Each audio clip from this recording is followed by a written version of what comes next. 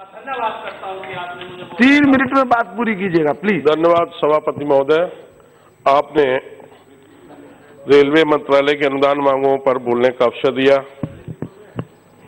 महोदय सबसे पहले मैं माननीय रेल मंत्री पीयूष गोयल जी तथा हमारे दूसरे माननीय मंत्री सुरेश अगाड़ी जी का व उनके सभी अधिकारियों का हृदय से धन्यवाद करता हूँ कि जब से चाहे वो गाड़ियों का संचालन हो या इस स्टेशन हो या रेलगाड़ी का, में स्वच्छता दिखाई दे रही है। खान पान हो या यात्रियों की अन्य सुविधाएँ हों, सभी में ऐतिहासिक सुधार हुए हैं। नई रेलवे लाइनें बिछाई जा रही हैं। विद्युतीकरण भी हो रहा है। काफ़ी आशातीत सुधार हुए हैं। महोदय, मैं अपने क्षेत्र पे सीधे सीधे अपने संसदीय क्षेत्र के बारे में कुछ बातें आपके माध्यम से माननीय मंत्री जी से रखना चाहता हूँ, क्योंकि मैंने देखा है कि हर जगह रेलवे में काफ़ी विकास हुआ है। कई माननीय सांसदों ने मेरे सामने यहाँ पर भी, और इससे पहले भी कई सांसदों ने माननीय रेल मंत्री के द्वारा बहुत कुछ दिया गया। लेकिन बड़ा दुर्भाग्य है हमारे क्षेत्र अभी भी अछूता है। तो इसलिए मैं माननीय मंत्री जी से आपके माध्यम से अनुरोध करता हूँ कि हमारे फरुखाबाद कानपुर से फरुखाबाद होते हुए दिल्ली के लिए मात्र एक ट्रेन कालिंदी ट्रेन एक्सप्रेस चलती है। मेरा आपके माध्यम से निवेदन है माननीय मंत्री जी से, देश आज़ाद हुए सत्तर वर्ष हुए तब से एक ही ट्रेन चलती पॉपुलेशन संख्या बहुत बढ़ चुकी है। इसलिए मैं चाहता हूँ कि एक कानपुर होते हुए फरुखाबाद होते हुए दिल्ली के लिए एक नई ट्रेन दे दी जाए। दूसरा, कासगंज अलीगढ़ के बीच में मात्र बावन किलोमीटर नई रेलवे लाइन बिछ जाएगी।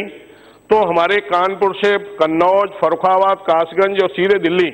अभी हम लोगों को दिल्ली आने में लगभग 10 घंटे हमारा समय बर्बाद होता है। यदि ये बावन किलोमीटर लाइन पड़ जाए नई लाइन पड़ जाए तो मात्र फरुखाबाद से तीन घंटा में हम लोग दिल्ली आएँगे सात घंटा बचेगा। इससे रेल मंत्रालय को भी फ़ायदा होगा और हमारी लोकसभा के साथ साथ कम से कम दस लोकसभाओं को और फ़ायदा होगा जिसमें कम से कम अ, तीन करोड़ लोगों को फ़ायदा होगा। दूसरा, मनी मंत्री जी से एक और निवेदन है कि इटावा से मैनपुरी नवीन रेलवे लाइन पड़ गई है। इसमें एक नई ट्रेन भी चालू हो गई है। मैं चाहता हूँ वो फरुखाबाद तक जोड़ दी जाए, जिससे फरुखाबाद से मैनपुरी और इटावा इटावा से ग्वालियर भी हमारे लोग सीधे जा सकते हैं। कानपुर फरुखाबाद कासगंज, बरेली होते हुए एक अमृतसर ट्रेन जो चलाई जाए जो पूर्व में भी पहले स्वीकृत थी, लेकिन कासगंज और बरेली के बीच में मीटर गेज परिवर्तन होने के कारण वो ट्रेन बाया माधवगंज बरेली होके अमृतसर जा रही है। वो ट्रेन मेरा निवेदन है, अब मीटर गेज हो गया है। इसलिए वो ट्रेन पुनः कानपुर फरुखाबाद कासगंज होते हुए अमृतसर के लिए दे दी जाए।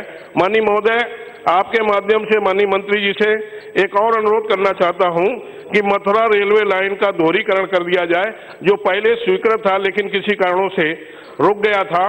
महोदय, आपके माध्यम से हमारी लोकसभा में रेलवे स्टेशन कायमगंज व फतेहगढ़ में लंबी दूरी की कुछ ट्रेनें हैं। उन्हें वहाँ पर ठहराव दे दिया जाए जिससे हमारे यहाँ के लोगों को फ़ायदा होगा। लास्ट बात एक बात कह के अपनी समाप्त करूँगा।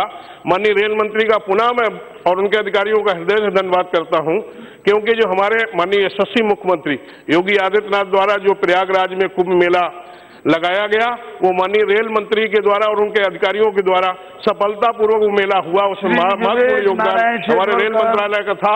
इसलिए पुनः मैं बहुत बहुत धन्यवाद देते हुए अपनी बात विराम करता हूँ। जय हिंद जय भारत।